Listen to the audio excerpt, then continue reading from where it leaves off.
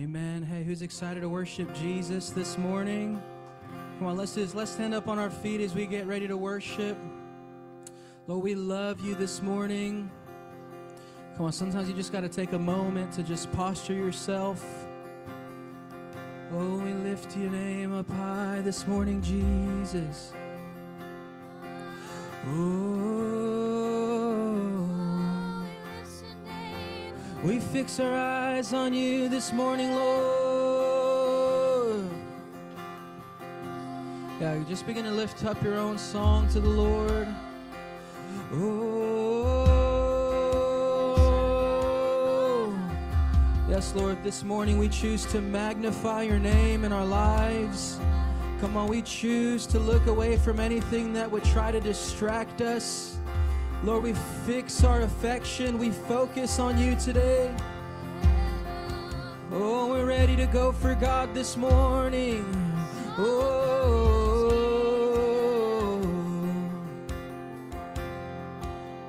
amen. We're going to learn a new song today. Come on, this is how the chorus goes. Oh, you are amazing,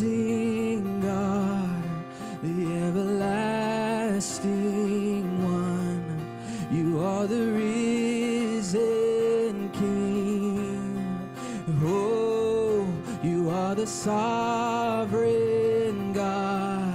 You reign victorious. You are the risen King. Let's sing that one more time. Sing, oh, oh, you are amazing, God. Just like that, the everlasting one. You are, you are the risen King. Yeah, you sound good. Sing, oh, you are the sovereign God. You reign, you reign victorious. You are the risen King. Let all, let all creation sing.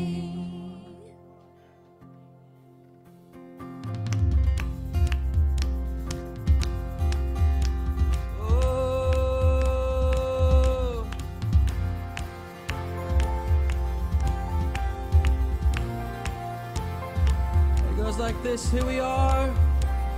Here we are, open arms, every heart overcome by your love and freedom. Here we stand, lifted hands unto the King. Hey, come on, sing this every day and every day, giving thanks, bringing our everything to the one deserving that our hearts could ever sing. Come on, you know these words now. Sing, oh, and oh, you are amazing, God, the everlasting one. You are the risen King. Sing, oh, and oh, you are the sovereign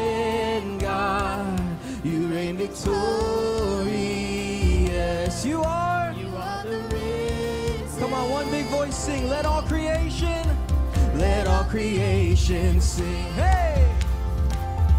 I feel the joy of the Lord today. Sing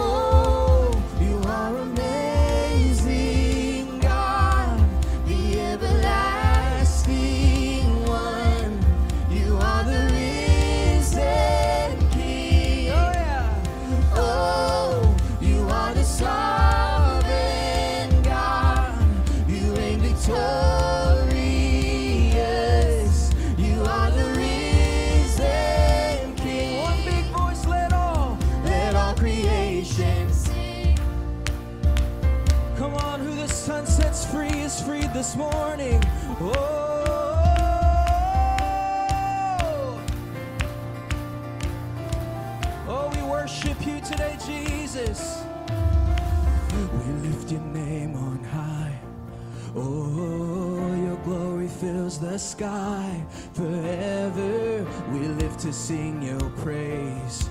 Oh, glorious one, you reign. Come on, sing that. We lift your name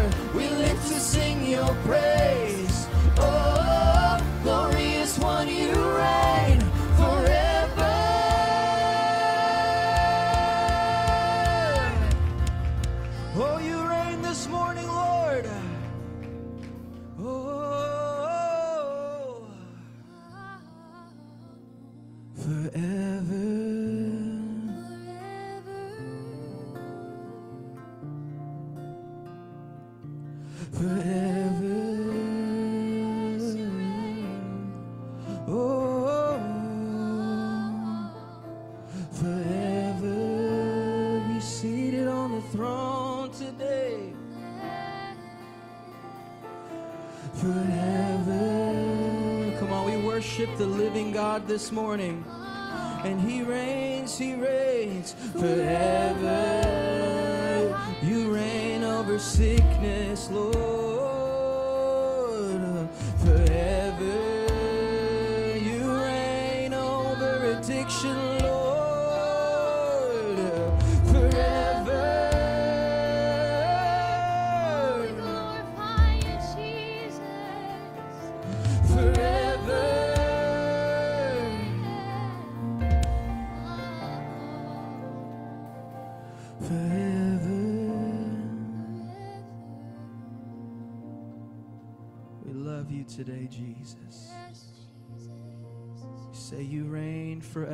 let's just take a few moments right now, if you haven't already, just begin to focus on the presence of God, on His matchless name. Come on, He's beautiful and worthy of all praise today. Thank you, Jesus.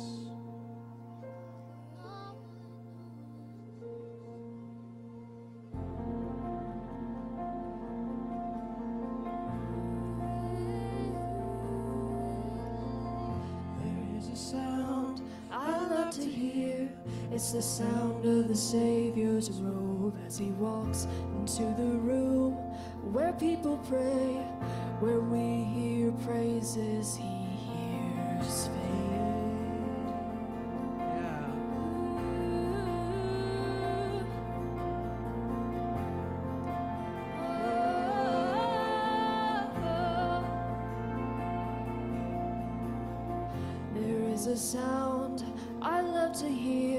It's the sound of the Savior's robes as he walks into the room where people pray, where we hear worship. He hears faith. Hallelujah.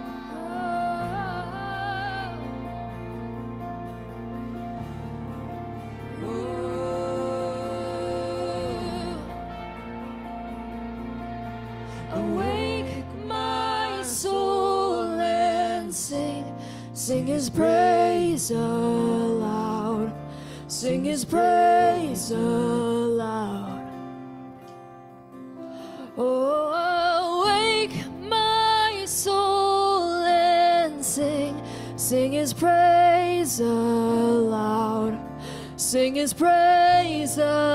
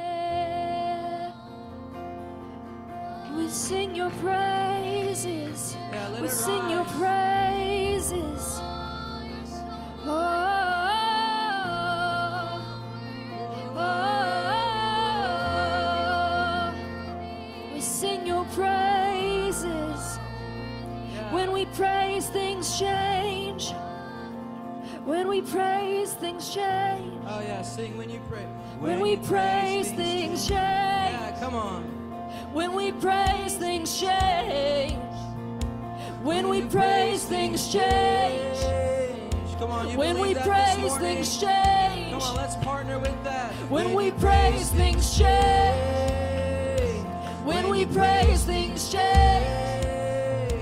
When we praise, things change. When we praise, things change. Come on, keep singing. When we praise, when, we, praise, things change.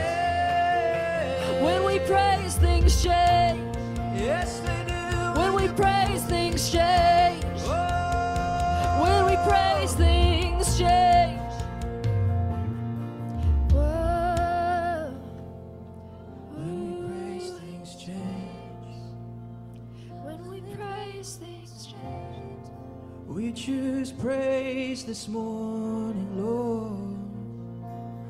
Oh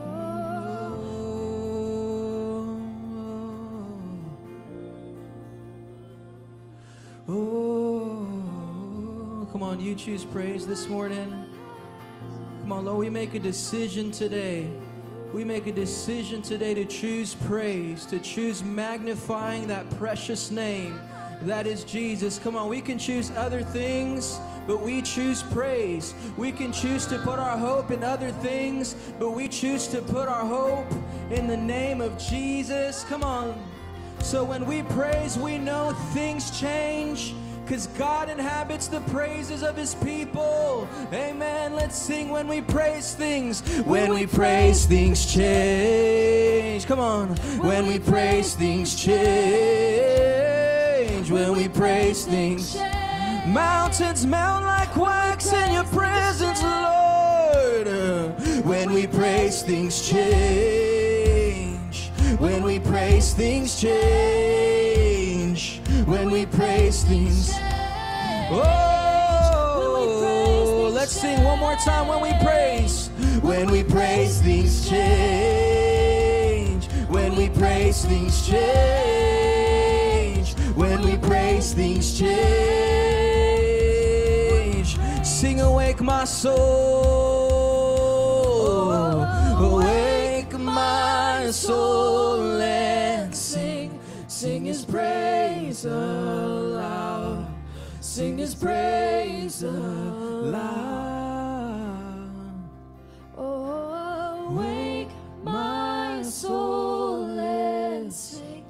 Sing His praise aloud, sing His praise aloud. Come on, can we just lift up a shout of praise here this morning?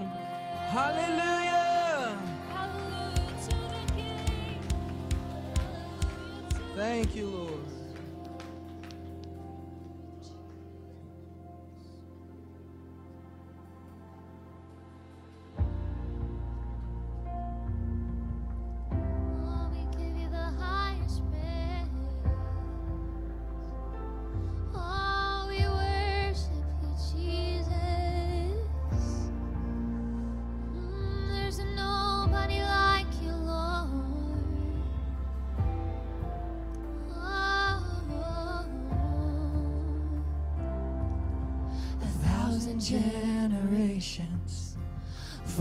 Falling down in worship to sing the song of ages to the Lamb.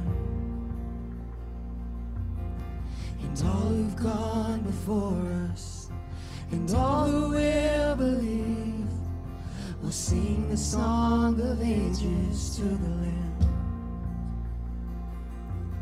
Your name is the highest, your name is the greatest, your name stands above them all. All thrones and dominions, all powers and positions, your name stands above them all. And the angels cry, Holy, all creation cries, Holy, you are lifted high, Holy, holy forever.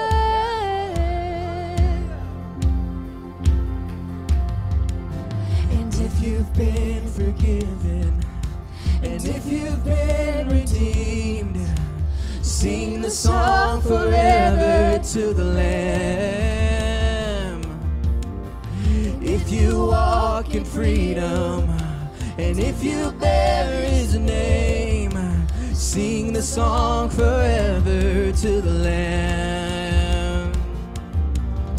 We'll sing the song forever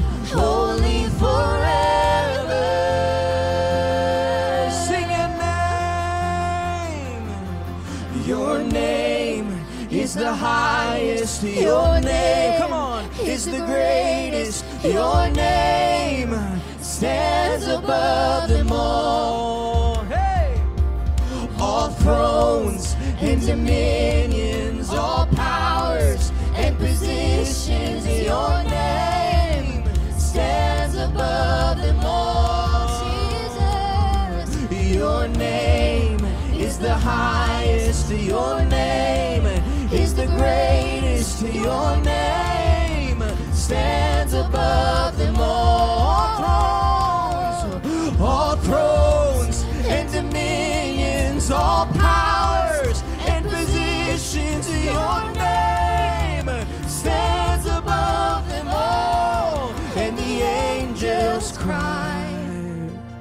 Oh.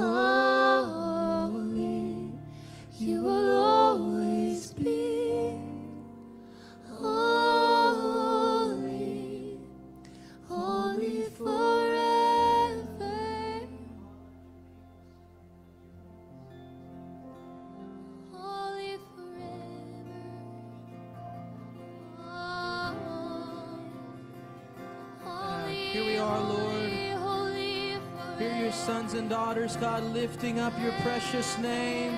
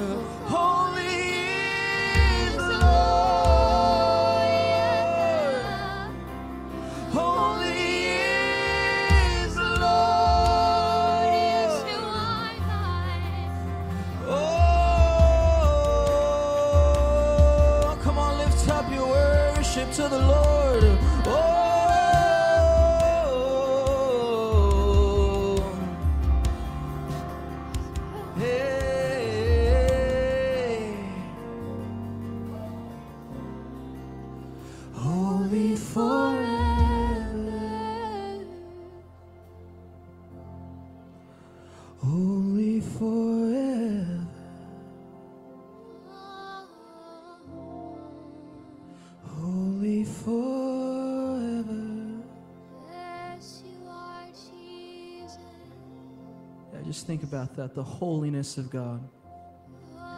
The angels circle around him and sing.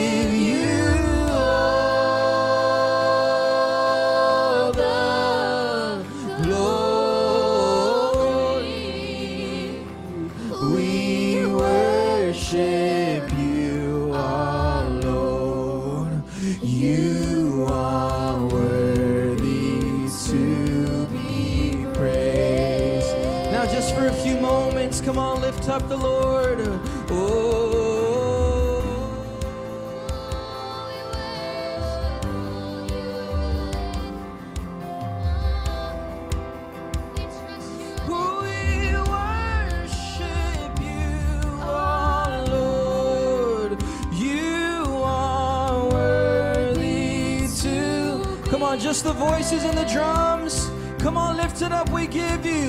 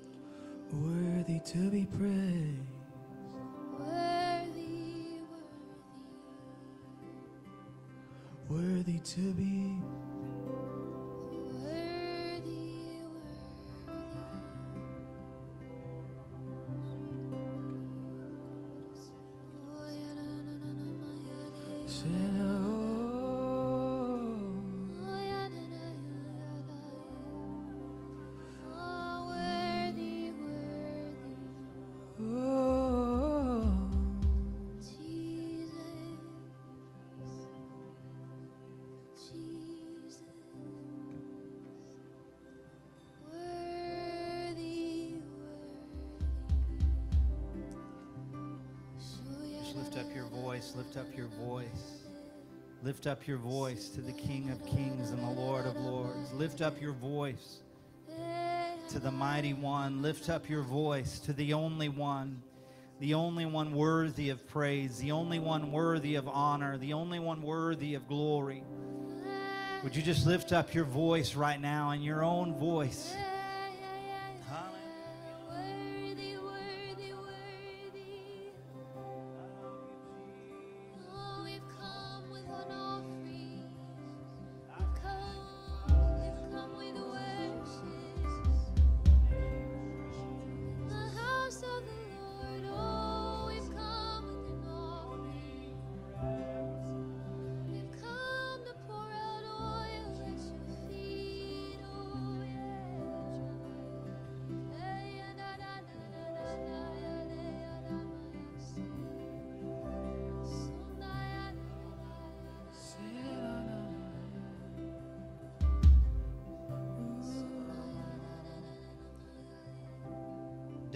Said, Praise the Lord, O my soul, and all my innermost being.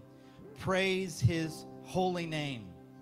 Sometimes you have to tell yourself, you have to say, Self, it's time to get lined up with God right now and we're going to praise him. We're going to exalt him no matter the circumstance, no matter what's going on around me. I'm going to praise the Lord with everything that's in me. I'm going to praise his holy name, for he is worthy, and he is worthy, and he is the name that is above every other name. That at the name of Jesus, every knee should bow and every tongue confess that he is Lord of all. Lord of all. He says, Praise the Lord, O my soul, and forget not all his benefits. So many benefits. Who forgives all your sins. Has he forgiven you? Then praise him right now. Say, Thank you, Jesus, for forgiving me you washed me clean. You made me new. Thank you, Jesus. And He heals all my diseases. Has He healed you? Then praise Him. Thank you, Lord, for healing me, for touching my body. God, we thank you. Who redeems your life from the pit and crowns you with love and compassion. God, you gave me such love. You poured out your compassion upon me and you redeemed my life. I was going in a direction that would have destroyed me, but you redeemed me. You called my name. He satisfies your desires with good things so that your youth is renewed like the eagles. God, thank you. Thank you for strengthening me when I am weak. Thank you for coming and renewing me and restoring to me the joy of your salvation. Thank you, Jesus. Thank you, Jesus. Can you lift your hands and just say, Thank you, Jesus. Thank you, Lord. You are so good to me. You're so good to us. You're so good to your people. The joy of my salvation. Thank you, Jesus. Thank you, Lord. Thank you, Lord. And Lord, I know that those days are not past. You continue to renew. You continue to strengthen. You continue to redeem. You continue to heal and save, God. Thank you, Jesus. I know the Lord told me to do something very specific this morning in this worship time. But I need to ask a question. Do you believe what we just read that God still heals? Do you believe that? How many of you with an upraised hand would say, I know it because I've experienced it? Amen? We have several individuals in our family that are struggling right now, even battling some of them very serious things. And so the Bible says in James chapter 5 that, that you're to call the elders of the church and you're to lay hands on the sick and they will recover. But it says, Is there any sick among you? Sometimes among you doesn't mean that they're here physically in the building because they're so sick they can't be. So I want us to pray for those among us, those that are part of the family. And so, Donalena, will you come? Donalena is going to stand in for our new friend, Gayleen, who is at Baylor, right? She's at Baylor Medical Center right now. She's battling for her life right now. And I, I don't, that's not a dramatic. And so we want to pray for her. I'm going to ask, would you come, Michael Seth, and would you just stand behind? A couple weeks ago, God just dropped it on Michael Seth's heart to pray for Gayleen. And I believe that we're going to come together in agreement. Amen? Amen. One of one of our new brothers who is such an incredible man of God, Al Reaver, just went through knee surgery. and it was he's been doing well, but but he's struggling right now. John, would you come and stand in for Al Reaver? Jonathan, just come and stand right here. And Brother John, would you stand behind him?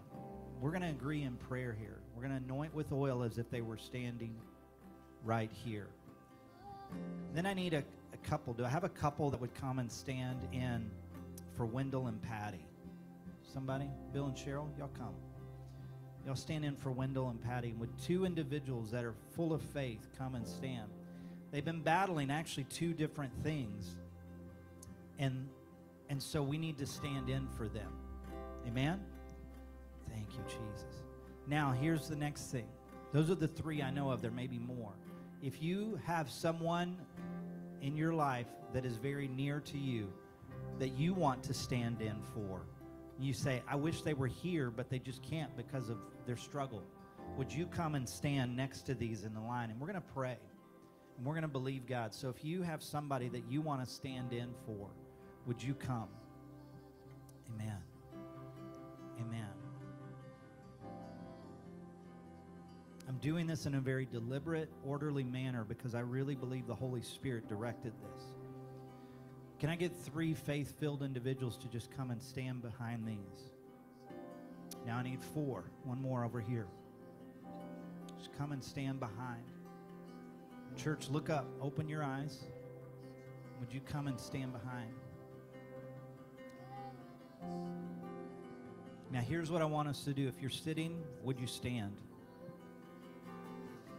And stretch out your hand. And I'm going to go down this line, and it's going to take a minute or two. But if you're sitting, would you stand?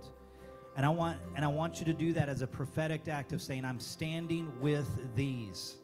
I'm standing with those in our body that are struggling physically right now. And we're going to agree in prayer. Can we do that right now? Just begin to lift up your voice in prayer. Let's come together as the family of God and let's pray for one another. Jesus'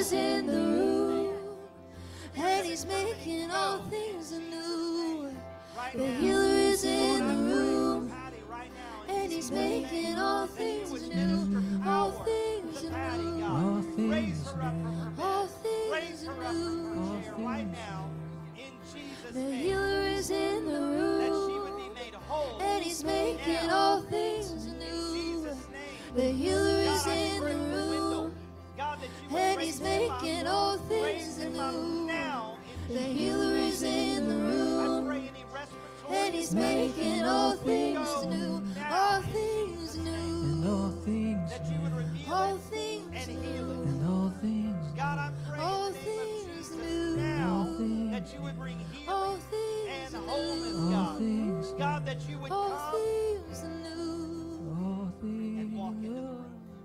Walk into the room. Walk into the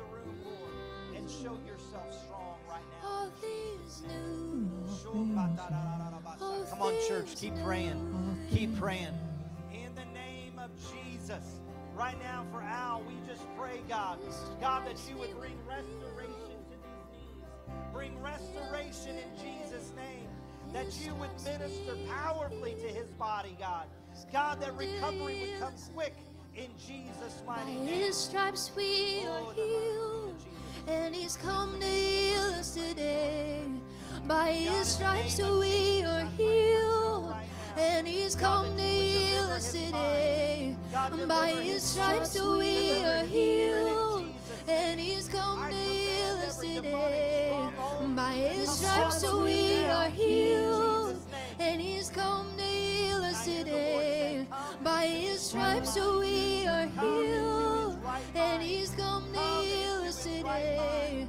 By His stripes, so we are healed. And He's come to heal us today. Oh, the healer is in the room. And He's making all things new. Oh, the healer is in the room. And He's making all things new. Oh, the healer is in the room. And He's making all things new. All things new.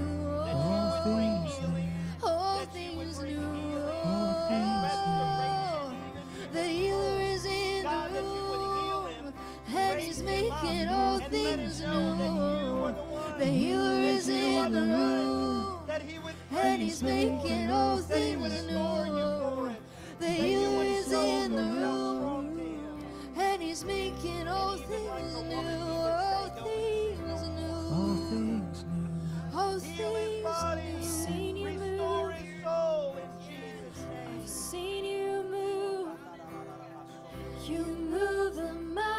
Can you just lift up the name of Jesus now and say, Thank you, God, for your healing power. Thank you for your healing power.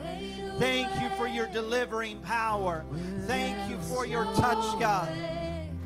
Thank you, Lord. Thank you, Lord. Then reach over and touch somebody next to you right now and just begin to worship together for a moment. Just let the worship just be lifted to Jesus. Come on. Come on. I'll see you do it again. I've seen you move. You move the mountains, and I believe I'll see you do it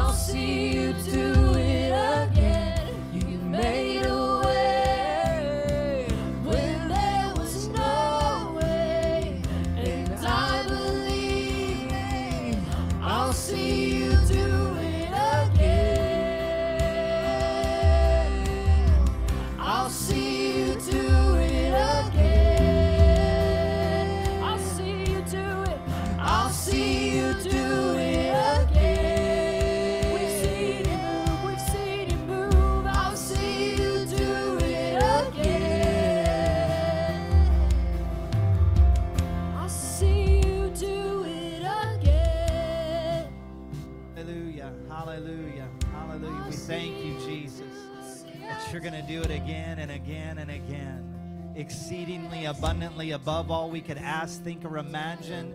God, even healing is going to flow out of the individuals you're healing now. God, that healing is going to flow to the next hospital bed. That healing is going to flow to the next bedroom. That healing is going to flow wherever they're at, God. That healing is going to flow so powerfully, God. We thank you for that. In Jesus' name. In Jesus' name. Now, why don't you just hug that person you've been worshiping with? Come on.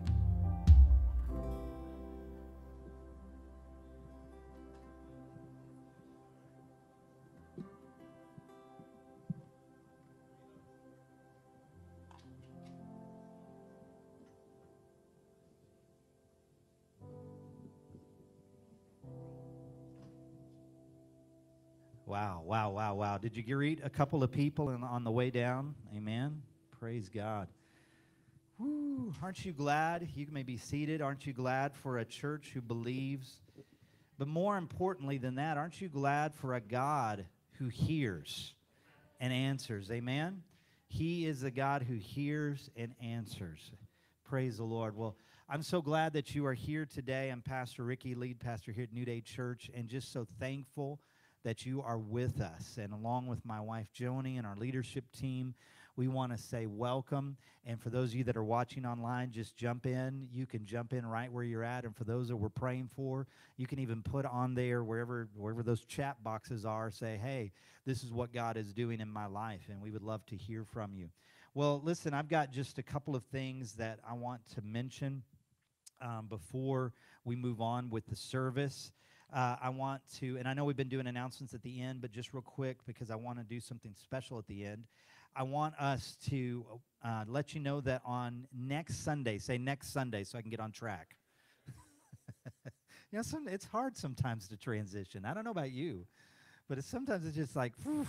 so next Sunday, Next Sunday is going to be right after the service, our new partners meeting. In other words, if you have considered being a partner at New Day, or you want to know what's going on, or why we do what we do, or where we came from, then this is the meeting for you. Or if you've been a part of New Day for a long time and you just never made that next step, it's time to make that next step to see what God wants to do. We believe in our partners. We believe that uh, Paul was very clear that even with those who supported his ministry, they were partners in the harvest.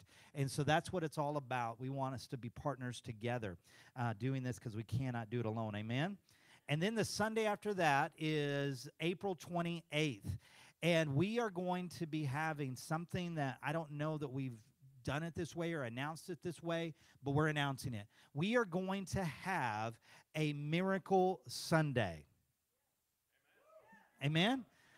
You say, "Can you can you can you say that?" Yes, we can.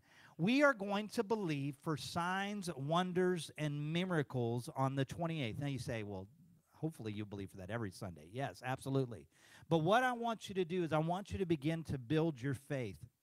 You see, when Jesus was coming into town, you wonder how he gathered those crowds, right? How did he gather those crowds? They didn't have megaphones. They didn't have, uh, you know, YouTube. They didn't have social media. How did they gather the crowds? People began to run through the streets and say, Jesus the healer is coming.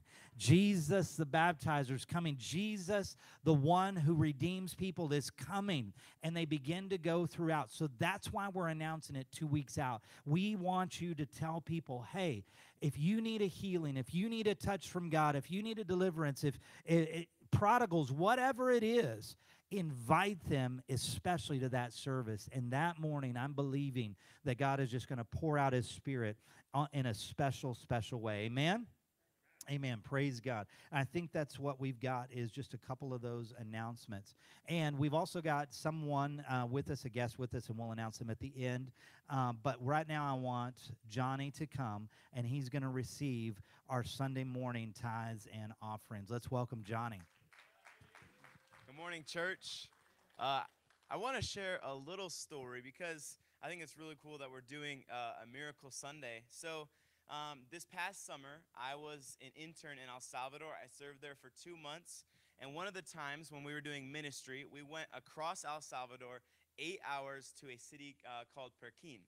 And so we packed up the bus, we put all the sandwiches and all the toys that we needed because we always want to attribute something physical that's good with a spiritual good. So we give a gift to every single kid so they can feel loved because a lot of these kids have never had a gift given to them. So we packed all the stuff, and I was a part of that packing process as someone who was, you know, working and interning there. And we go there and we do ministry all week. And we packed about uh, we packed about 500 toys, um, about 500 sandwiches, but more specifically, we packed 500 toys. And at the end of the week, the, the missionaries that I was working with, the nationals, they would count and see how many kids we actually reached and we reached and gave over double the toys that we had. We had 500 toys, and we reached over a thousand kids, and we had leftovers afterward. We had boxes and trash bags full of toys that we left at the church that they kept and kept on giving. So what that shows me is that when you're obedient, when you simply just say yes to God, He will be there, whether it's financially or relationally or spiritually. You're going to see a blessing when you're simply obedient. And that's what it is. So I'm fired up. Uh, so we have three ways that we can give here at New Day Church. And when you give, you help the mission of God go forward. It's as simple as that. You help the church go forward. You help missionaries go forward. You help the spread of the gospel go forward when you give. So we have three ways to give. You can give, you can scan to give right there, and we have our ushers who will come and collect. And I believe there's a number you can text, or you can give online at newdaychurch.org. newdaydfw.org. I was close. But uh, I'm going to pray and hand it back over to Pastor Ricky. Dear Heavenly Father, thank you for this day. Thank you so much for dying on the cross for our sins and rising again and making miracles possible in the process, conquering sin and death and paying the ultimate price, Lord. Yeah. We say thank you, Lord, and we say thank you for what you're going to do with our simple yes, and you're going to multiply it, Lord, for your work in your kingdom. In your name we pray, amen. And at this time, Wait, wait, wait, the children. wait. Almost, almost, almost. I wanted to say something that today is the last Sunday that we will see Johnny for a little bit. So, yes, I know, I know. I feel the same exact way. Johnny came to us as an intern, um, I guess it was about last October, September, October. And actually, Johnny had been in this church uh, about two years before that, and we didn't know him at the time, but he came and helped with our VBS. And it, he was just such an inspiration and such an incredible young man that when I saw him at Southwestern two years later, when we were trying to get interns to come, I was like, I know you. And he was like, I know you. And then it clicked where we had seen each other. And so he filled out the application and he became one of our very first interns for this season. And I just want to say thank you. Thank you. And I can honestly say that we've had many interns over the years, all lovely people, incredible people. But I can honestly say this that Johnny, you are at the very top. And God has used you in ways beyond you'll even ever know. It'll take heaven to tell the impact you've made, especially upon our young people, but also upon us older people. And we are so grateful for you and thankful for you. And we just wanted to pause and say thank you so much for coming and pouring your life out. Amen? Amen. Love you too. Amen. Yeah. Now, kids, you can head out as they receive this morning's tithes and offerings. And I want to let you know that Wednesday, Johnny will be here, as well as one of our other interns, JC. And we are going to be celebrating, or the youth, youth will be celebrating them. And if you'd like to just say thank you to them in any way, JC has a missions trip, uh, actually an internship in El Salvador this summer that she's raising funds for. And if you want to be a part of that, you can ask us how you can do that through the church, or you can do it directly through them. But we just wanted to say thank you. Amen? Amen. I know I've asked you to stand multiple times, but would you turn in your Bible to Mark chapter 10 and stand with me?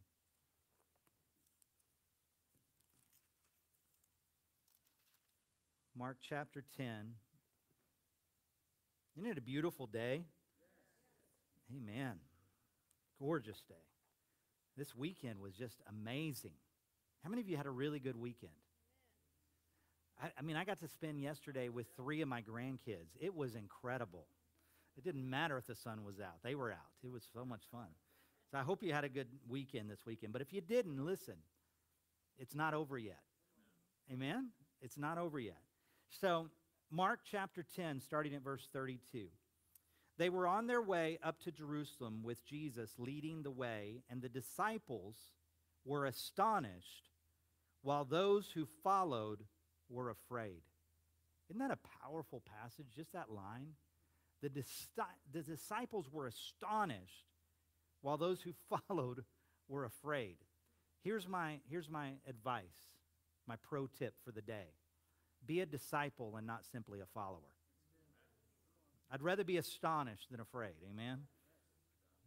Goes on and says, Again, he took the twelve aside and he told them what was going to happen to him. We are going up to Jerusalem, he said, and the Son of Man will be betrayed to the chief priests and teachers of the law. They will condemn him to death and will hand him over to the Gentiles who will mock him and spit on him, flog him, and kill him. And three days later, he will rise. How many of you know Jesus didn't hold any punches with those who were closest to him? He did not always share with the crowds, but he always shared with those closest to him. Another pro tip get close to Jesus. And he will speak to you things that will blow your mind. Amen? Let's pray. Father, we come before you right now in the name of Jesus.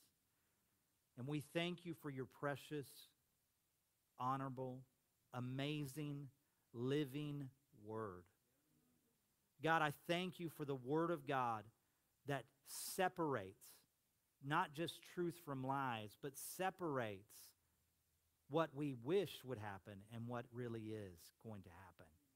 God, I thank you for your word that is living and active, sharper than any two edged sword. I thank you, God, for your word that brings life, brings breath, brings so much to us.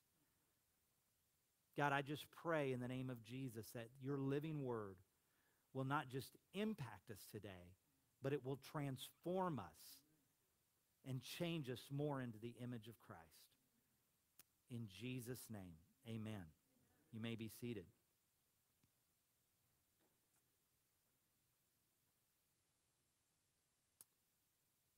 I want to preach to you a message today that I've entitled My Pleasure Servants in a Selfish Society.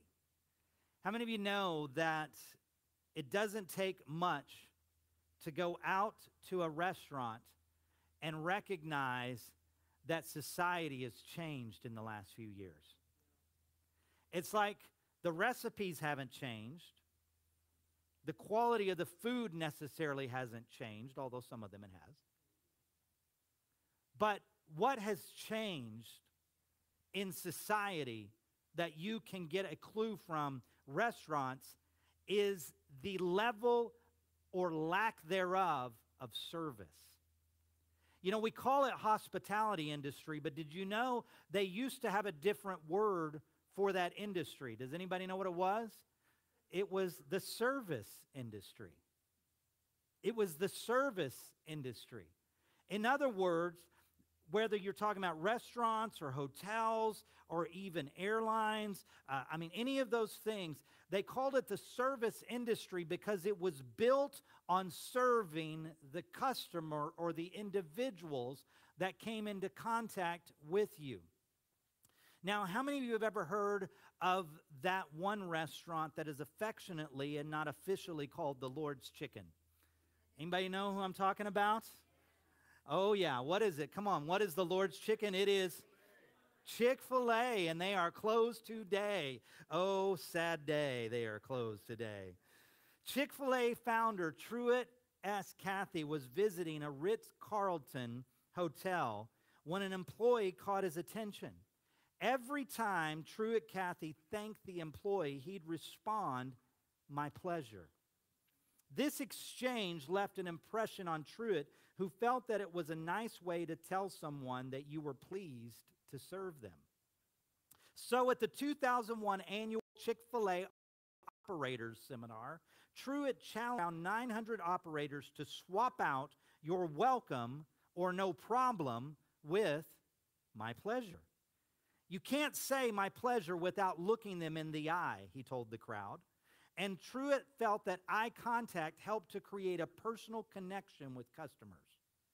Now, a little bit later, Dan Cathy and Truett Cathy explained that my pleasure is an expression from the heart. Team members, operators, or staff members are able to literally show that they want to go the extra mile and that they care about the other person.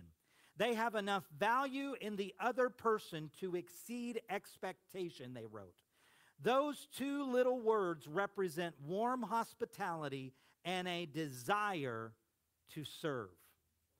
Now, if someone serving you chicken and waffle fries and a Sunjoy, which is my favorite, if someone serving you that can take enough thought to think, I want to connect with you in these few moments that we exchange cash for that little pleasure of that food, how much more should the church of Jesus Christ be prepared and ready to be servants of those we come into contact with?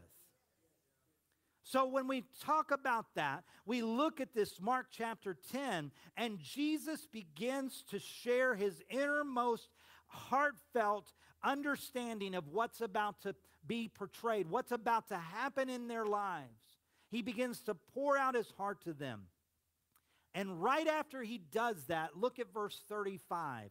Then James and John, the sons of Zebedee, came to him and said, Teacher, we want you to do for us whatever we ask. Now, God named, or Jesus named, James and John the sons of thunder. And I think we understand why in this passage. These guys were bold. They were bold. They came to Jesus and said, Glenn, before, before we ever got the scripture that you can ask whatever you want in my name and it will be done, before they ever got to that, they said, We want you to do whatever we ask. That's bold. Super bold. And you can decide for yourself from Jesus' reaction whether or not it was maybe too bold or just right. Jesus said in verse 36, What do you want me to do for you? I love it. Don't you love it when Jesus asks questions instead of answering right up front? He says, What do you want? Sons of thunder.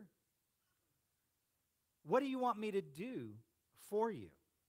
And they replied, verse 37 Let one of us sit at your right and the other at your left in your glory. Simple request. We just want to be your right hand man and your left hand man. Now, what did that really mean? What did that mean to a Jewish mindset? It really meant about what it would mean to you and me. I want to be right next to you. I want to be the commanding officers when you come and start kicking tail of the Romans. We want to be right there in your glory. They weren't talking about heavenly glory, they were talking about earthly glory. We want to be right there. We'll be by your side. It'll be like the three amigos coming on out and just destroying everybody. That's where we want to be. And then when it's all said and done, we want to sit at those thrones. We want to sit in that place of glory and accolade because we were right there with you. Too bold? Jesus, verse 38, answered, You don't know what you are asking. Can you drink the cup I drink or be baptized with the baptism I am baptized with. Did he not just tell them what exactly was going to happen? Betrayal, torture, and death. And he's like, guys, can you handle betrayal, torture, and death? Because if you're going to be at my right hand and left hand in all my glory, that's what you've got to face. And then their boldness just blows me away. Verse 39, two simple words. We can. I mean, you can read it however you want. We can. Either way, they said it. We can. And Jesus said to them, You will. You will drink the cup I drink and be baptized with the baptism I am baptized with. But to sit at my right or left is not for me to grant. These places belong to those for whom they have been prepared. Let me stop and say this you need to understand when you come to God with your questions, when you come to God with your request, sometimes we're seen in the temporal realm, but He is always seen from the eternal realm. He's always playing the long game. He's always thinking with eternity in his mind. And if we could just get in tune with that, Solomon said eternity is planted in the heart of every human. If we could begin to tap in, Lord, I know I'm asking for now, so help me to ask for forever. He goes on in verse 41 and says, When the ten heard about this, they were like, Dude, we wish we would have been first. Why didn't we think of this first? What does it say? It says they became indignant with James and John. They called them together and said, You know that those, or excuse me, then Jesus called them together and said, You know that those who are regarded as rulers of the Gentiles lord it over them, and their high officials exercise authority over them. Not so with you. Can you say those four words? Not so with you. Instead, whoever wants to become great among you must be your, what is it? Servant. And whoever wants to be first must be slave of all. You see, Jesus said, you cannot take on this world's style of leadership and expect to go far in my kingdom. You've got to become low so that I can raise you high. You've got to serve others so that I can lift you up. You even have to become a slave to everyone else before I'll ever put you in front of everybody else. And then he says this, and this, if you don't hear anything else in this message, listen to verse 45. He says, For even the Son of Man did not come to be served but to serve and give his life as a ransom for many. I don't care what position you hold. I don't care where you think you are in your company or in a church setting or in your family. Jesus, the King of all kings, we sang about him. His name is higher than any other name, his name is greater than any other name. God raised him to the place of authority over judgment over everything in the universe. And he said, I came to serve. I came to serve. Which makes me think of this statement if serving is beneath you, then leadership is beyond you. If serving is beneath you, then leadership is beyond you. You will never experience true leadership in the kingdom of God as long as it's all about you. Serving others is a key factor in the Word of God and in the kingdom of God. Look at Philippians chapter 2. Paul said this to the church at Philippi do nothing out of selfish ambition or vain conceit, but in humility consider others better than yourselves. Each of you should look not only to your own interest, but also to the interest of others. Wow. Can you imagine if we started teaching athletes and musicians this? Would that maybe change those two industries just a little bit? Hmm? I think it would change it a lot too. I agree. Then he says this, verse 5 Your attitude should be the same as that of Christ Jesus, who, being in very nature God, did not consider equality with God something to be grasped, but made himself nothing. You know what the word in Greek is for nothing. Do you know what the translation of that Greek word nothing is? Let me tell you what it is it means nothing, it means completely empty, it means nothing. It means he put himself on the lowest plane level. And you say, how could Christ do that? I've even heard some, and I won't say preachers' names or whatever, but there's some preachers who oh, yeah, God, you know, he got, you know, if you came from the kingdom of heaven and came to the kingdom of earth, that's the lowest place. But it even means lower than that. It means he came to be a servant to everyone, even you and me. Wow. Can you imagine Jesus showing up in physical form right here? What would be the thing you and I would do? I know what I would do. I would fall on my face as quickly as I could. If Jesus came in his earthly form and showed up in this room, I'd be on my face. Why? Because he's Lord of all. And yet he chose to come and show us the way by getting in the lowest form. And it says it right there.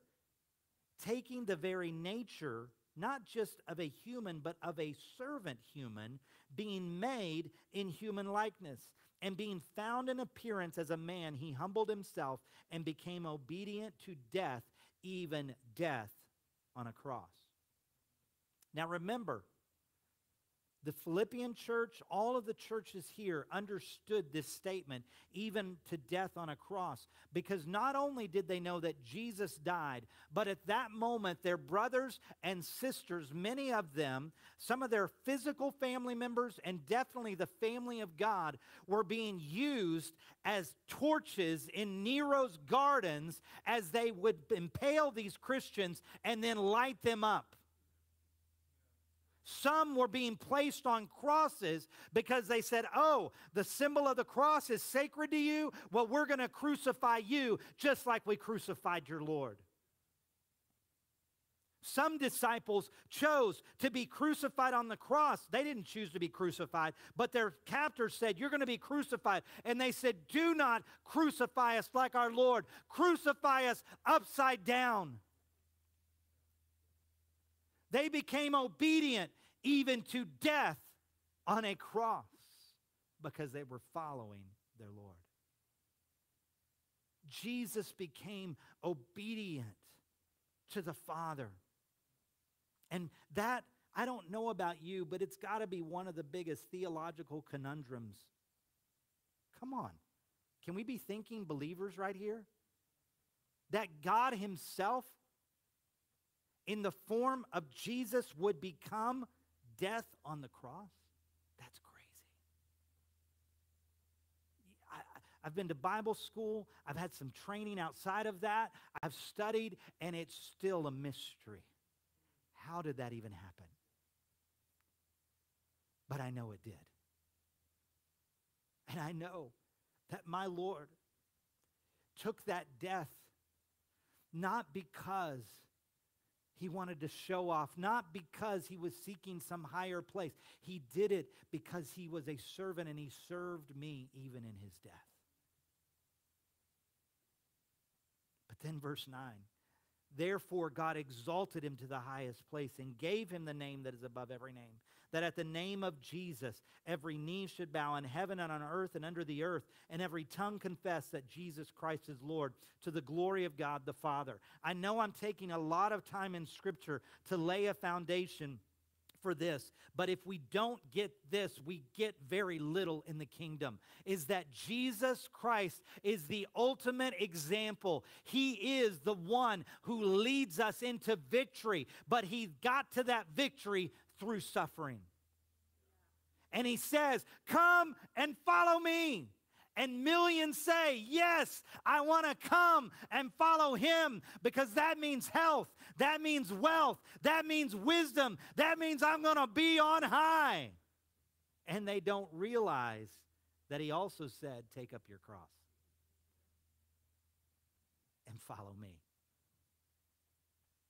Take up your cross and follow me. So Jesus became the servant of all, and God exalted him to the highest place.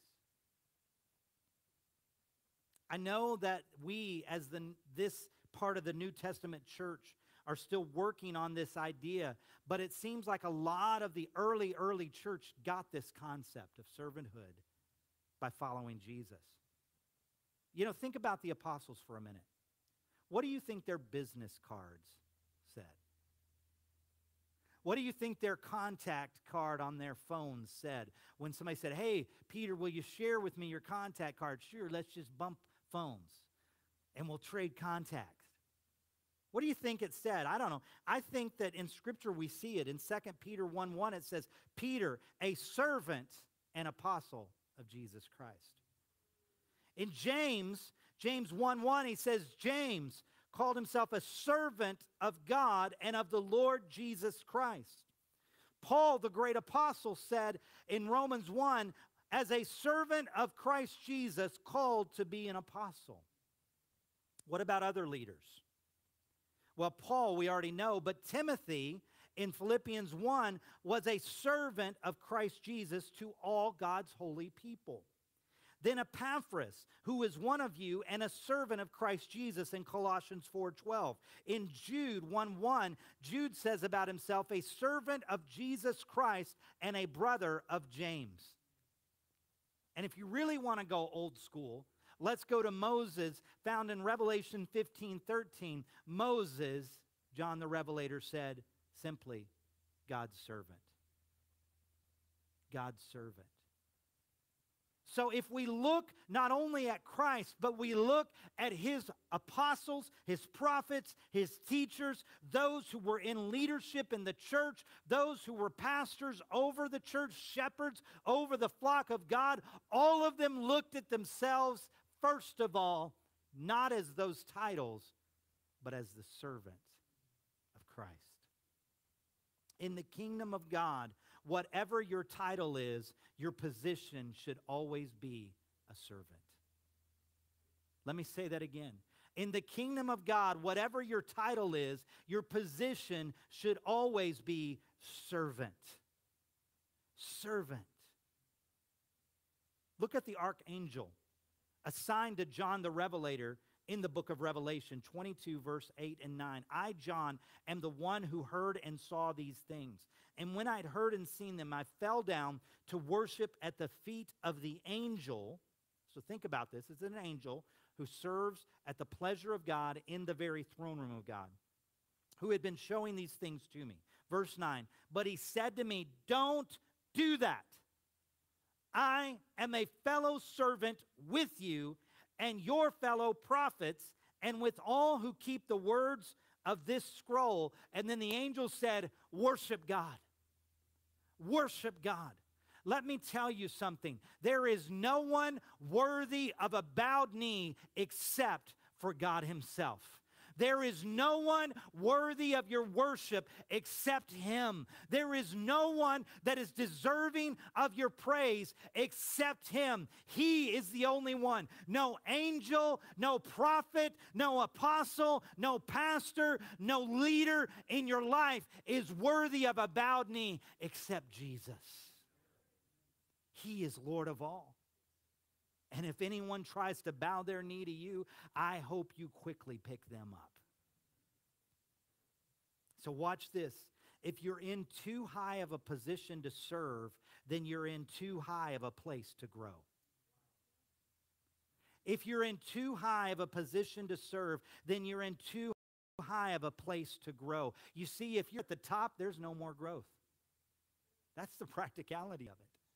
And I don't know about you, but I always want to be growing in the grace and the knowledge and the love of Jesus Christ. I always want to be growing. And so, therefore, I need to keep, keep my heart positioned as a servant so that I can continue to grow.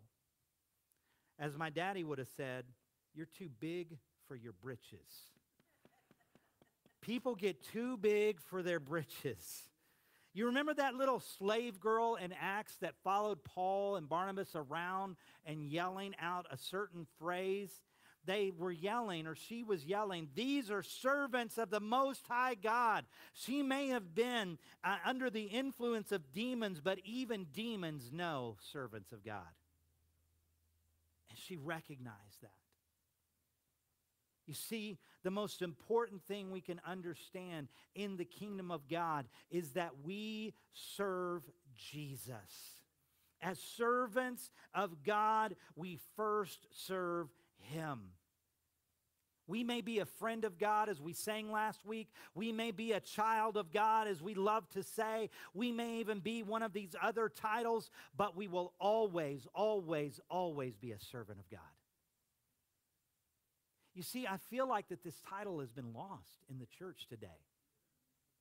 I feel like we get so caught up in things and so caught up in, in different things of our life, and we're like, well, I'm this, and you know, this is what business card says. But we've got to get to the place where we say, God, I'm always your servant. And even in that position, even in that title, if I'm a president, if I'm a CEO, if I'm a teacher, if I'm, if, if I'm a, a factory worker, if, if I work at a bank as the president of a bank, I'm always a servant. It reminds me of a story. Joni and I were privileged to go several times in person to the great Brownsville revival that God moved in Pensacola, Florida in the mid 90s. And I remember that there was an usher on one of the services that we were there. Actually, we were there for several services. And I remember seeing this same usher over and over again.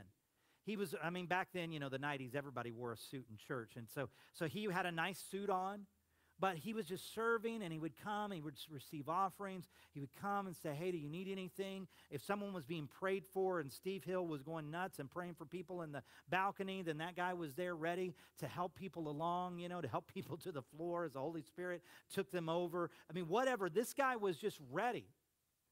And I remember I thought, you know, what, this is interesting. I mean, because literally they were going sometimes five, six, seven days a week in this revival.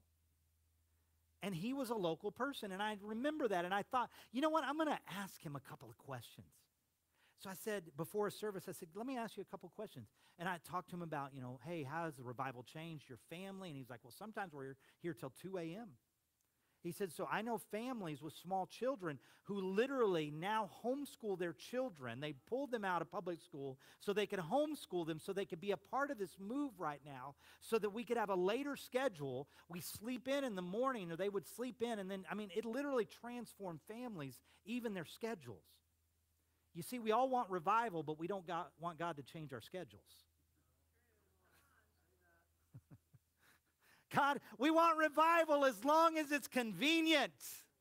God, would you bring a convenient revival to America? Mm, that'll be for another message. And so here he is. And here's this guy I'm talking to. And he's, he's going back and forth, just being so kind. And then I, for some reason, popped in my head hey, what do you do as for a living? He said, I'm the president of this bank down the street wait a minute. I said, You're the president of the bank. He said, Yeah, we have this many banks in the southeast. I'm the president. I said, Let me get this straight. I said, You're the president of the bank, but you're an usher at church. Shouldn't you be like over the finance committee? Shouldn't you be like the head? I mean, this guy wasn't even the head usher. Shouldn't you be like at least the head usher? He said, I serve at the pleasure of Jesus. that is the attitude we've got to come at. Not, not only do we serve Jesus, our first and most important service, but we also serve our family. Come on, somebody. Ephesians 5 says, In this same way, husbands ought to love their wives as their own bodies. He who loves his wife loves himself. After all, no one ever hated their own body, but they feed and care for the body just as Christ does the church, for we are members of his body. Then Ephesians 6 says, Children, obey your parents in the Lord. And it goes on and on and on. Wives, respect your husband. There's so much about that family that, that in the Word of God, we are commanded, not just told, we are commanded to serve those closest to us. There are numerous other scriptures on how we will even treat our brothers, our sisters. Watch this. Even our parents who are aged. Our parents who we're out of their house, we're from underneath their control. What are we to do with those parents? We're to honor them, we're to love them. I personally know missionaries who were incredibly effective on the field that have come off of the field to serve their parents in their remaining years. But you say that's wrong. They should be on the field. That's where they're seeing thousands come to Christ. They're seeing the church raised up. They're, they're over Bible schools. Why would they come home to take care of their parents? Because they believe the scripture. And they said, and I've talked to them, some of them are like, I know I want to be on the field, but this is a season that I'm in right now. So I'm going to serve my family well. I know people who have said no to corporate jobs so that they can say yes to the calling of God to their family. But what does society say? Society says, no, you don't need to stay home and take care of your kids. You need to let somebody else take care of your kids. You need to climb the corporate ladder. And even me saying that causes a cringe among some because you're like, oh, is he this? Is he that? Well, you'll have to have a private conversation with me about that. What am I talking about? I'm talking about first we serve Jesus. And then who does he tell us to love? Those among us, our family. We've got to serve them. Does that, does that mean that a man or a woman can't have a corporate job and have a family? That's not what I'm saying. As I said, you'll have to talk to me privately. What I'm saying is get to the heart of the issue. We've got to serve those that are closest to us. Because when we serve our family, we're serving others like Jesus serves them, according to Scripture. Thirdly, we serve the body of Christ. Galatians 5:13 says, "You my brothers were called to be free, but do not use your freedom to indulge in the sinful nature, rather serve one another in love." Then look at Galatians chapter 6, "Let us not become weary in doing good. Therefore as we have opportunity, let us do good to all people." Say all people. Because I'm going to get to that in a second, but what does he say right after that? Especially give attention to those who belong to the family of believers of the household of faith. The Word of God tells us that we are to serve Jesus by serving our family and by serving the family of God. I, have always been blown away by this scripture because I know people who are like, man, we got to go for the lost. We got to go for the lost. We got to go for the lost. And if the church wants to catch up, I'll let them catch up. And it's kind of this attitude of, of the body of Christ is just kind of over there. And yet, Scripture tells us, especially consider those who are of the household of faith. Amen? So, as we serve one another in love, what did Jesus say? He said something so important about this to his disciples and to us. He said that the world would know that we are disciples by our love for who? One another. Whoa. Michael Seth, if you and I are out at a restaurant and we're connecting and as the as the server does and i promise you that server is listening to what you're talking about at the table. Be careful what you say about me at lunch. And as they're talking those servers are listening. And as they hear us talk about helping one another and doing things for the kingdom of god and, and being there for one another those servers are listening. The world is listening. And they're watching how we treat one another and can I be honest? Sometimes it doesn't look so good to the world how we treat one another. Oh, well, they're that denomination, and that denomination is just, it's not even a denomination, it's a demonic nation, right? And I mean, we just, we, we trash one another before the world, and the world goes, why would I want to be a part of that? Hello? We got to love one another. He said, Love one another, serve one another, and by doing this, the world is going to know. It's like when your friend is going through a crisis and you find out, man, they're not a part of the body of Christ or they're not a part of a local church. Maybe they are a Christian, but they're just not part of a local church. And you go, man, why not? And they're like, well, this and that, and church hurt, and that person did this and that and the other. And you can say to them, man, you know what? People are people, but let me tell you something. When you're a part of the body of Christ, when you find a body of Christ, you will find people who may not be perfect, but they love one another. And if and if you're out, man, come in. Come in. Come in and we will show you some love. Love one another. Finally, we not only serve Jesus, our family, and the body of Christ, but we serve the least and we serve the lost. Jesus entered Jericho one day and he was just passing through, and there he encountered a man named Zacchaeus, who was a very top of his game tax collector. He wasn't just a tax collector, he was what the Bible calls a chief tax collector. He was chief among the tax collectors. He was, he was like, man, he's getting all the awards at the uh, company party. I mean, he was high which meant before the Jewish people, he was incredibly hated. And as he climbed up into that sycamore tree, as you maybe learned if you were in kids' church one day, he climbed into that sycamore tree, the Lord, for he wanted to see. And as he began to look at Jesus, Jesus looked at him. And he said to him, Zacchaeus, come down, for I'm going to have dinner with you. I'm gonna, I want lunch at your house today. Oh, there's so much here that I could go off on. So much here. But let me tell you, Zacchaeus came down and he began to put his faith in Christ. Zacchaeus was transformed from the inside out. And we see from that encounter, he's began to give the money away. And anybody he cheated, he said, I'm going to give him double. And he was just open handed, open armed. How many of you know when you're generous, you must have Jesus in your life? I told you there's so much there. But this is where we get this statement in Luke chapter 19, verse 10. At the end of that, people begin to criticize Jesus, and then this is Jesus' answer about how he treated Zacchaeus.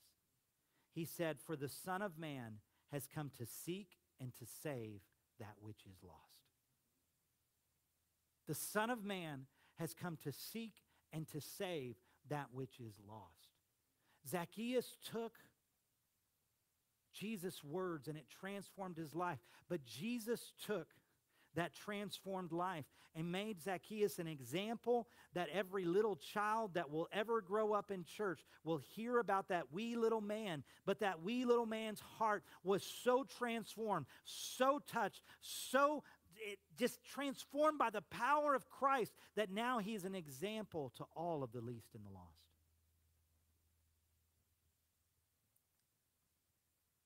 We must preach the gospel while living out the gospel. We must feed their soul while sometimes feeding their face. We must love them enough to not leave them where they are at. We must give the thirsty something to drink. When Johnny was telling his story, I was immediately reminded of the time that that happened to me when I was on a missions trip. It was either El Salvador or Nicaragua. I can't remember which one. But we had toys, but we ran out of candy. We literally got down to this little bag, and it was our last program. And it was a school that was unexpected. We weren't sure if we were going to get to go. And when we talked to the principal, they said, Well, you know, I think it's just going to be about, you know, like 20 kids. And we're like, Okay, we've got enough candy, we've got enough toys, we've got enough food, we can do this program. And for some reason, all of the teachers of the school said, What? A break for an hour? It's on. And about 200 kids came into the courtyard. No joke. And we were like, oh no. And the keeper of the candy, because you got to have a keeper of a candy around a lot of kids. And so the keeper of the candy came to us and said, uh, we don't got enough candy for these kids. And the program's coming to an end. And so this is what we said You're the keeper of the candy, you deal with it. I mean, we got enough problems of our own. We're trying to do all this and this and this. You go ahead and take care of the candy. And man, we're praying for kids. Kids are getting healed. Kids are getting set free. We're, we're praying for all these kids that are getting saved. We're like, just go take care of the candy. Who cares? Well, that keeper of the candy cared. Amen? When you're a servant, you care for what God has given you. And that keeper of the candy, who hap- happens to be also a CEO of a company, she said, okay, to her other keepers of the candy helpers, let's pray. And the first thought that she came to was this we're going to go ahead and give one piece. Normally we gave handfuls. We're going to give one piece of each, maybe, just maybe. We'll get it to the smaller kids and we'll tell the older kids, sorry, we're out. That's literally the first thought that came to her. And so she started handing out one piece of candy. Can you imagine Kids who only see candy about once a month in their life, maybe that, are waiting. I want the candy. And they handed out the one piece. And they went, Thank you. Any more? And so here, that line started. And she, the keeper of the candy, got convicted. And she prayed again. She said, Lord, would you multiply this candy? And do you know what started happening? she said, I can't stand the look on these kids' faces. Just give it until it's empty, until it's gone. So they started handing handfuls of candy to each kid. They got to 20 kids, they got to 30 kids, they got to 40 kids, they got to 100 kids, they got to 150 kids, and they kept handing candy. And some of them got in line twice because they're sneaky. And they're so cute, you can't stop it. Every single one of those kids in that entire program. And at the end of it, the keeper of the candy had a bag of candy left over. I could tell you this story over and over again. Because when we serve, we don't serve out of our abundance. We serve out of his abundance. We serve out of what he is giving us. And when he hands it to us, it will be multiplied and it will never end. It will never end. I want the worship team to come.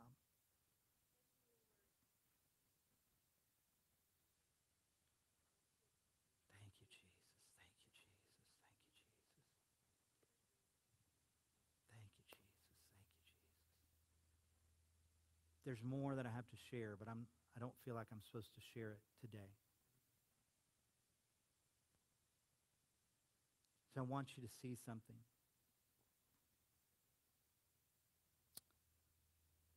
We're going to be launching something soon.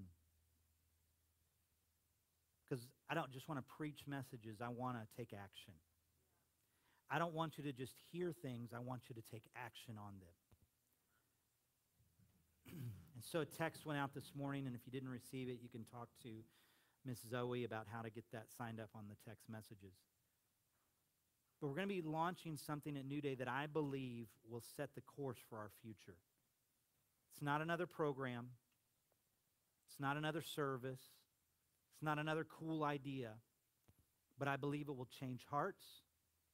It will change attitudes. It will impact families. And I truly believe that this single action will cause a ripple effect to go locally, regionally, and globally. I truly believe this. What is it? I can't tell you right now. Because the Lord's still working on it, on us.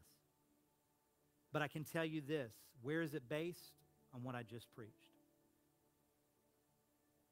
That we have got to become servants in this selfish society.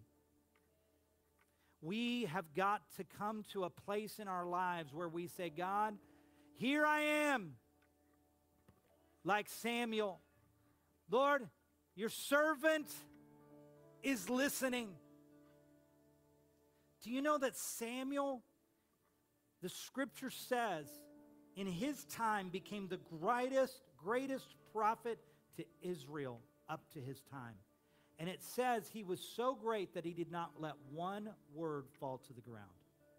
In other words, every word that Samuel calculated, every word that came out of his mouth was inspired by God. And he didn't waste one word. And how did he start? What I just said. As a little boy saying, Here I am, your servant is listening. Would you stand with me right now?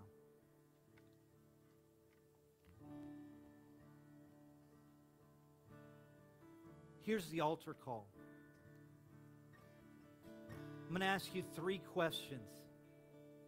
And I want you to just close your eyes for a moment and I want you to respond to the Holy Spirit that is speaking to you. First of all, who is God calling you to serve?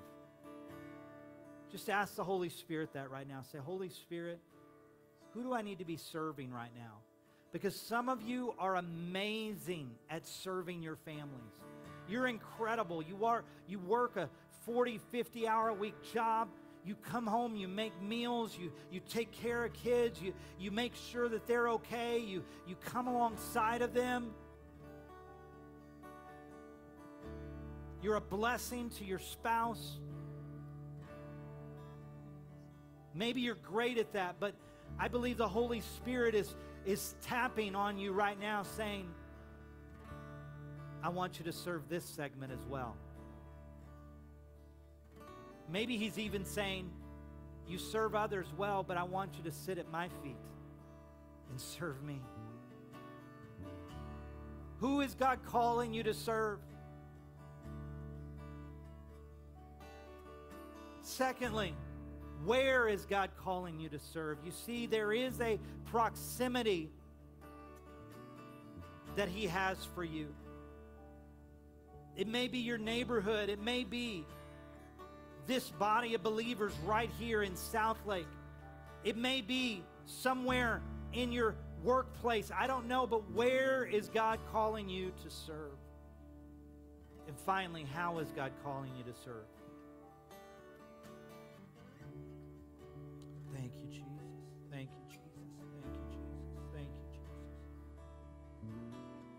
Thank you, Lord. Thank you, Lord. Thank you, Lord. Thank you, Lord. Thank you, Jesus. Thank you, Jesus. I want to tell you, we're not done, but these altars are open. If you want to come and find a place, or you want to find a place right where you're at, we're just going to continue to play for a few minutes, and I'll come back in a minute. But I want you to find that place, and I want you to, I don't want you to just rush out of here. Guys just keep it just right there. It's perfect. I want you to find that place and say, God, who do you want me to serve? Where do you want me to serve, and how can I best serve? Where is my place of service right now, Lord, that you are asking of me? Come on, come on, just respond, just respond. Find a place. Just respond, just find a place for the next two, three, four minutes. Don't rush out, don't get an- antsy. Just ask Him, come on, come on. This altar is open. You can come right down here. You can stand, you can kneel, you can turn around in your seat, but find that place. Don't ask one another, ask Him. Who is it, Holy Spirit? Holy Spirit, speak. Holy Spirit, speak. Your servants are listening. Your servants are listening. Oh, your servants are listening.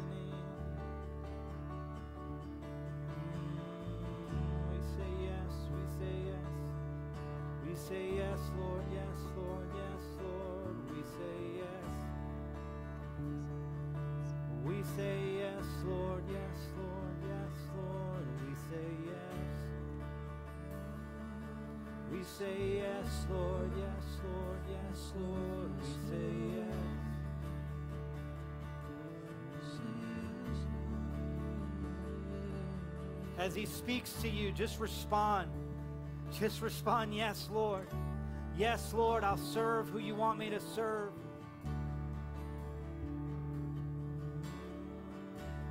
Yes, Lord, I'll serve where you want me to serve.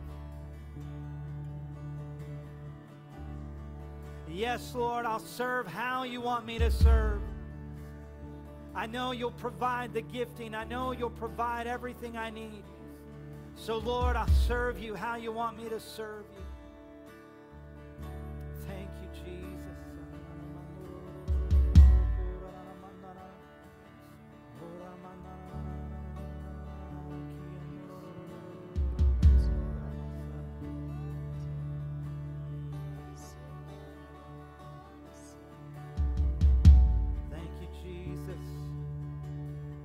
Come on, about 30 more seconds. Just let the Holy Spirit speak and respond.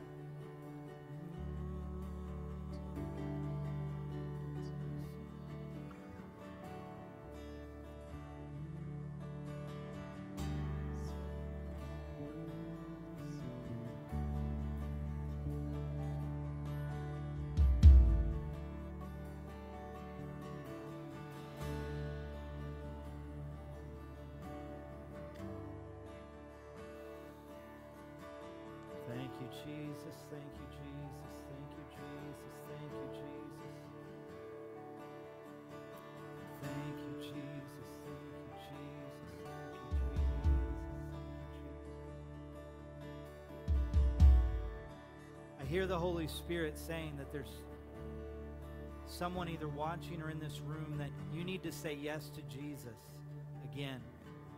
You need to say, Yes, Lord, I will serve you. I've been serving my own selfish interests, my own mm. selfish ways. And I even hear the Lord saying that you served me at one time with wholehearted gladness.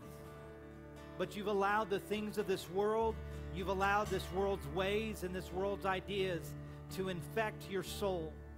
And it's time for a cleansing. It's time to say, Yes, Jesus, I'll serve you anywhere you want, any, any way you want, to whoever you want. Lord, I will serve you, Jesus. I will serve you and stop serving myself, stop serving in the way I want to serve, and that's the only way I can serve. God, I will stop doing that and I will serve you wholeheartedly. Lord, how can I serve you? It's my pleasure to serve you, Lord. It's my pleasure to serve you, God. Say yes to him now. Say yes to him now. Say yes to him now. Surrender your heart. Surrender your life afresh and anew. Say yes to Jesus.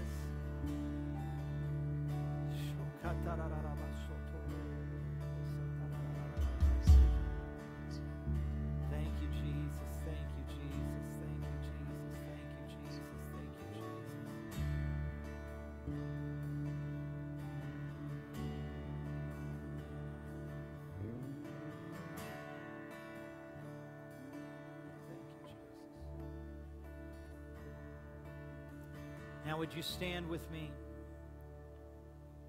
Would you take somebody's hand? Most of the people in this room and even watching online are a part of New Day Church. And if you're not yet, we'd love for you to be a part. But this is what I feel like. I feel like the Lord wants us to pray a corporate prayer. A corporate prayer of recommitting to serving Him, no matter what name is out there, no matter. It's not about us, it's about Him. And would you just come together? And I'm going to pray a prayer, and would you just come into agreement with this prayer, saying, Lord, here we are as this local church body called New Day Church, and we recommit to a service, a life of serving you, Jesus. We recommit to that, that it's not about our name, it's about your name. That it's not about our fame, it's about your fame. It's not about, about what we get to do, it's about partnering with you, Holy Spirit. So we renew our heart to be a church that serves like Jesus. And God, we recommit to loving and serving our families, God. God, that we will love our spouses, that we will love our children, that we will love our aged parents, that we will love those that you have placed in our family, God. God, even those who do not know you, God, we will love them by serving them. That they would see Jesus in our acts of service. God, and we recommit to you that we will serve one another in love. That we will not do this for a position or a title. We will not do this to gain access or a place of authority over one another, but we will serve one another in love. God, that it's not about titles, it's not about our positions, but it's about our posture of serving you, God, and serving one another. God, we recommit to serving the body of Christ. This local body and those that are part of your greater body. We will love them even when we don't agree with them. God, we will come into agreement under the name of Jesus. God, we will come into alignment with those who love your name and love your word. And lastly, God, we recommit to serving the lost, the lost in our community, God. God, we will not ignore them as if they weren't there. We will not just drive into this community and drive out of this community every Sunday morning. We say, God, we are here to serve. We are here to serve this community. God, and we say we are here to serve our region however you want us to serve the people in our neighborhoods, the least, the lost, the teenager, the child, the broken family, that teenager, that young adult who's strung out. God, we say we will serve them even as you serve Zacchaeus. God, and we will serve the globe in Jesus' name.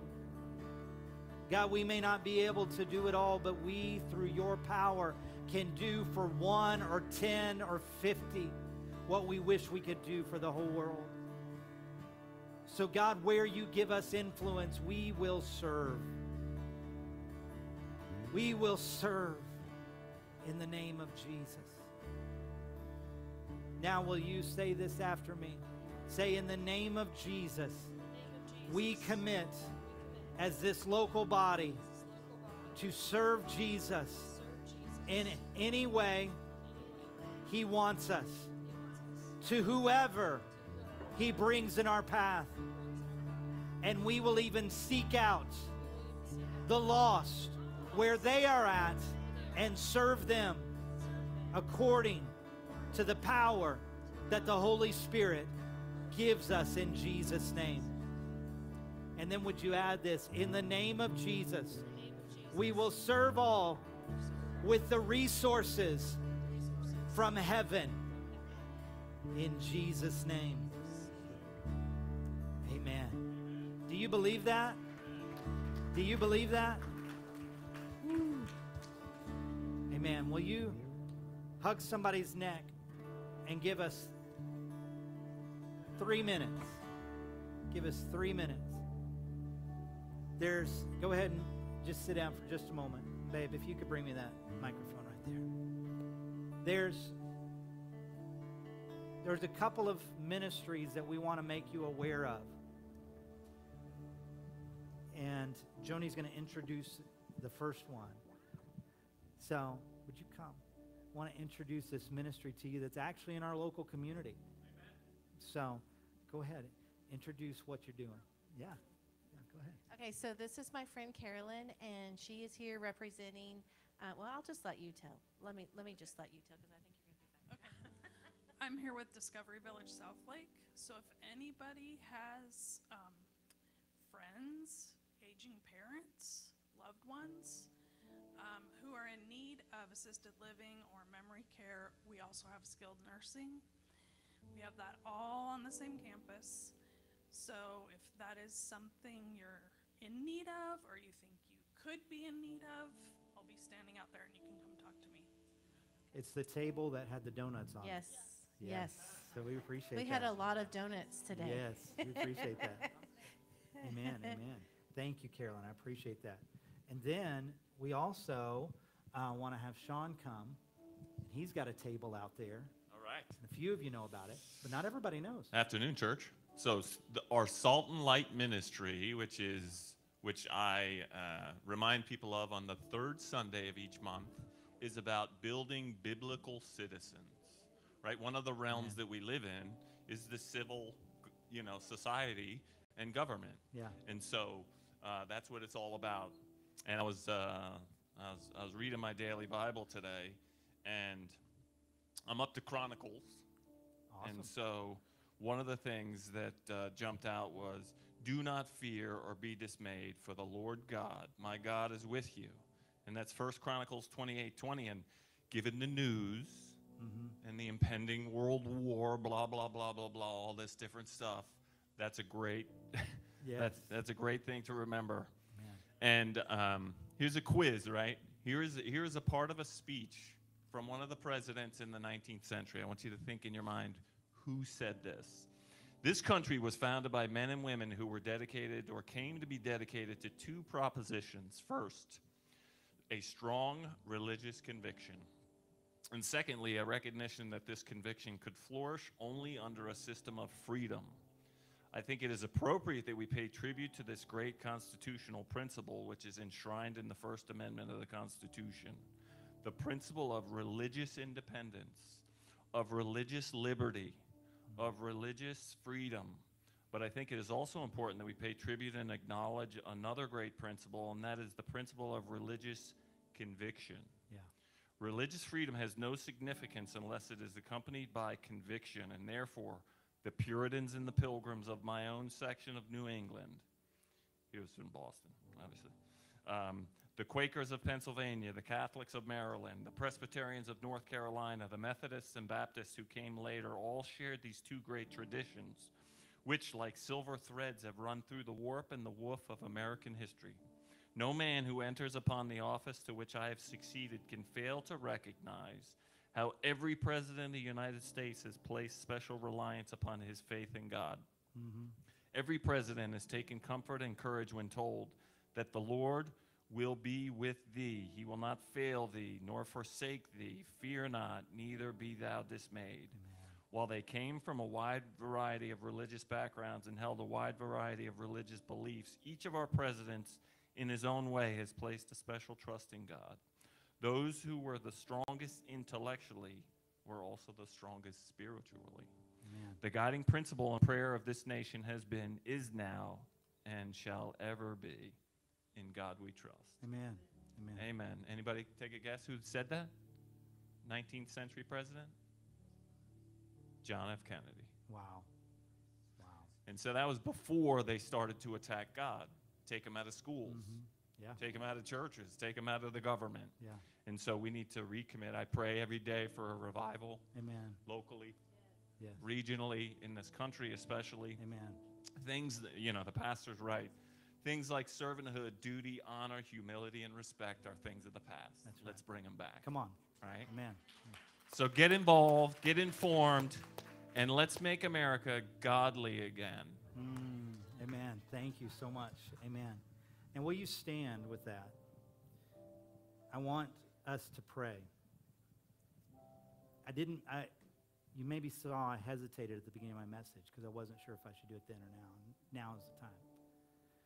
Many of you saw or maybe have heard what started happening last night with this renewed attack on, attack on Israel.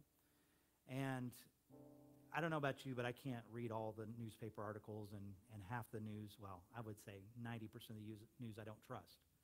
And so I don't know all of it. But my sources are telling me that this is not just Iran that has attacked Israel, but it's also seven other major nations. And so I'm not coming to alarm you. I'm coming to say we need to pray, just like Sean said. We need to pray. Is this Ezekiel 38 beginning to play out now? I don't know. I can't tell you that. I can't. But I will tell you this these are definitely the shakings. You hear me, church? Don't look at America or Africa, continent of Africa, or any other nation to wonder, are we getting close? You look at Israel. That's how you know. That's how you know. And it rumbles from there. So something is happening. And I think that for those of us that are sensitive, you know that this is not just another attack. Amen? And so we need to be in prayer. And I was talking to Brother Jean, who is a, a native of Lebanon. I want you to add this to your prayer. Because as Brother Jean so aptly said, because he has many extended family members still in Lebanon, that the Lebanese people are victims. I said the Lebanese people are victims of an, of an ungodly regime. Do you know how many believers are in Iran right now? Hundreds of thousands. Fastest growing church in the world is in Iran. We have brothers and sisters there, and they're under the heavy arm of these demonic regimes. So do not place all of those people in with these demonic leaders. So your prayer should be for our brothers and sisters in Lebanon, in Iraq, Iran, in Syria, where God is doing an incredible revival work in Syria right now. We need to be praying for our brothers and sisters who are there. Amen? And we need to pray for Israel. So, can we just lift up our voice right now? God, we come before you in the name of Jesus. And you commanded in your word to pray for the peace of Israel. We know that Israel is your time clock and that we can see from Israel what is happening and what is coming. So, God, we just come before you not in fear, not what man or bombs or anything else may bring. We come to you partially excited that things are happening but God also partially saying, Lord, let your kingdom come and let your will be done on earth as it is in heaven. We join with John the Revelator and say, Come, Lord Jesus, come. We're asking you to come in great power and glory. Come with revival. Come with outpourings. Come with signs, wonders, and miracles in Iran, in Lebanon, in Iraq. Come in Syria. Come in these nations. Would you pour out your spirit? God, I know you're appearing to many people in dreams and visions, and there's a vast revival happening. God, would you increase it in Jesus' name? God, and I pray for our Jewish individuals, God, that are there, Lord, that do not know you, God. Would you wake them up? Would you wake them up to their true Redeemer? Would you wake them up to the true Messiah? God, would you wake them up and would you wake America up at the same time, God? God, we pray in the name of Jesus that you would wake up the church that we would see that the Master is calling, that the Master is coming, that the time is drawing nigh. And God, we have a work to do. We have a people to serve. We have a mission to accomplish. God, get a hold of our hearts. Let us stop fighting and bickering over the small things and begin to come together to see your kingdom come and your will be done on earth as it is in heaven. And we pray this all in the mighty, matchless, precious name of Jesus. And everyone said, Amen. Do you agree with that? Can you just give a shout? Thank you, Jesus. Amen. And as you're going, I want to leave you with this victorious thought. John and Maria are headed to Vietnam because all of their resources have come in. Woo! Amen. That's good. Amen. Amen. God bless you. Have an incredible day.